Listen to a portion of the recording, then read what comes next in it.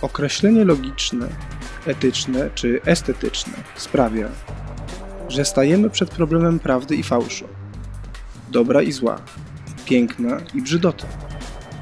Te przeciwieństwa dopełniają się. Myśl banalna, gdy zostawić się samej sobie.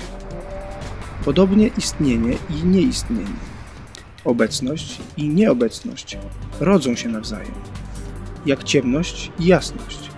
Tak przyczyna i skutek następują po sobie, choć nie sposób określić, co było pierwsze.